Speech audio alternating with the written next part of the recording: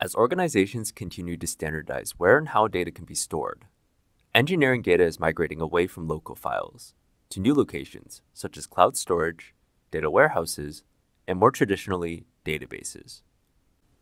Database Toolbox provides features to build and deploy MATLAB applications that interact with your database regardless of your level of SQL knowledge. You can connect to any ODBC or JDBC compliant database, including popular relational databases, databases hosted on cloud services, and data platforms. Ship drivers for MySQL, Postgres, and SQLite allow for easy connection and deployment of your applications to your database. You can also connect to popular NoSQL databases, such as Apache Cassandra, MongoDB, and Neo4j. You can use built-in functions to interact with your database, or use a database-specific query language.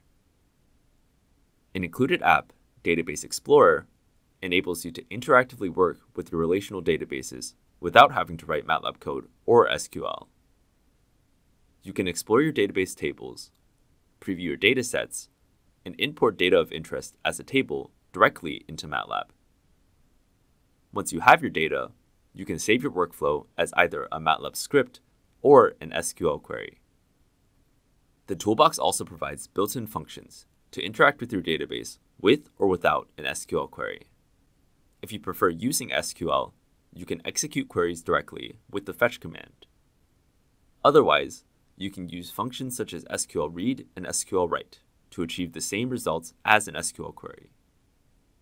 For more fine-grained control, you can specify custom import options or apply row filters to these functions. These filters generate SQL queries that apply predicate pushdown to filter data directly on your database, only importing the data that you need into MATLAB.